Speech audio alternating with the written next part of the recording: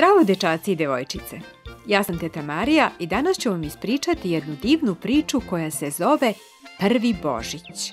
Današnji zlatni stih je iz druge Korinčanima poslanice 9.15 i glasi A hvala Bogu na njegovom daru. Poruka današnje priče je mi proslavljamo Boga kada mu zahvaljujemo što je poslao Isusa na zemlju. Da li si ikada išao na neko dugo putovanje? Da li si poželeo da zastanete i da se odmorite?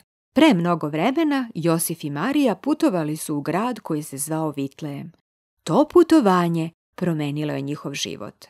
Vitlejem je bio bučno, užurbano mesto. Ljudi su se gurali uskim ulicama i svi su bili umorni. Dugo su putovali da bi stigli u Vitlejem. Car je naredio popis svih ljudi koji su živjeli u zemlji. Svaki čovjek trebalo je da odvede svoju porodicu u rodno mesto da bi njihova imena bila zapisana u posebnoj knjizi. Svi ovi ljudi došli su u Vitlejem da budu prebrojani i upisani. Među njima bili su Marija i Josif. Oni su živjeli u Nazaretu i kao i svi drugi posetioci u ovom užurbanom malom gradu i oni su došli u Vitlejem da se upišu jer je odatle poticala Josifova porodica. Bilo je to dugo putovanje i bili su veoma umorni. Marija se nije dobro osjećala. Zašto?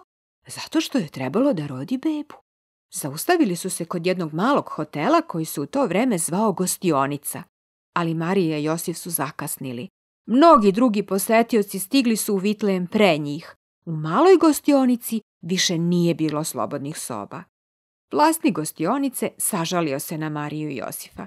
Video je da je Marija veoma umorna i stvarno je želeo da im pomogne. Zato im je dozvolio da ostanu u jednoj štali u kojoj su boravile životinje. Tu su Marija i Josif napravili krevete od slame. Tu se rodila Marijina beba. Marija je umotala svoju novorođenu bebu u toplu odeću i privila je u sebe. Mali dečak bio je tako dragocen, tako lep. Tiho i nežno spustila ga je u jasle pune slame. To je bio jedini krevet koja je mogla da mu da. Ali Marijin sin nije bio obična beba. To je bio Isus, nebeski princ. Došao je na zemlju kao beba da nam otkrije i pokaže Boga. Napustio je lepotu i slavu neba i rodio se u štalici i spavao u krevetu od slame. Zamenio je život sa nebeskim ocem i anđelima za mesto na kome su boravile krave i magarci. Isus je bio spreman da napusti nebo da bi čitav svet spasao od greha. Praznik koji se zove Božić je uspomena na Isusovo rođenje. Božić govori o Hristu, što je drugo ime za Isusa. Svakog Božića sećamo se da je On izabrao da se rodi u štali, da živi ovde i pokaže nam kakav je stvarno Bog.